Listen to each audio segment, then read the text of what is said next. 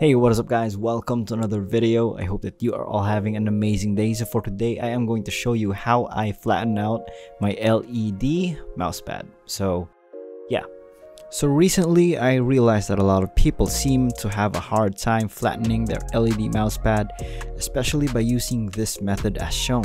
So if you're one of those people that have tried placing heavy objects like books all over it, or maybe tried other people's advice by steaming all over but it still wasn't able to flatten out your mousepad, maybe this method that I'm about to show you might help.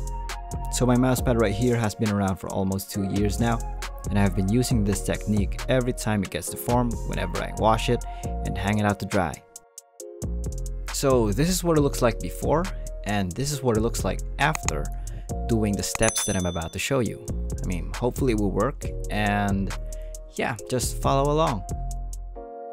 So um if the heavy books method didn't work I would proceed to take off the case where the USB connects to power up the LED light of the mousepad all you have to do is just remove the sticker of the uh, LED controller and remove the screws one by one like so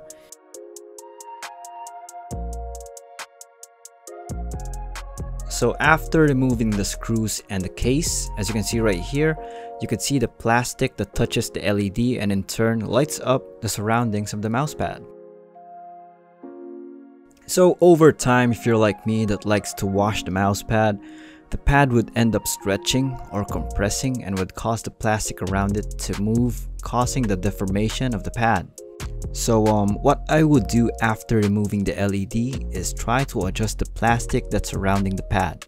I'd pull it in or maybe pull it out, whichever works best. And I would do it on both sides and make sure it's evened out because if it's not, the deformity would still be there all you have to do is just be patient and don't rush it because like sometimes it would take a minute or sometimes it would even take longer than 10 so just keep on playing around with it and wish for the best. So as you can see right here I have successfully flattened it out. And it actually took me around 10 minutes or so to finish it. And then once you've finished flattening it out, try to put back the LED and see if the plastic is touching it to make sure that the surrounding of the pad would light up. So um, this right here is an example where the plastic is now longer than what it's intended to be, which is the main reason why the mouse pad is deformed. But that does not matter at all because all that's important is that the mouse pad is flattened out. All I have to do next is just cut the excess plastic but make sure that it still fits right and touches the LED because if it doesn't, well, the whole pad won't really light up as it should be.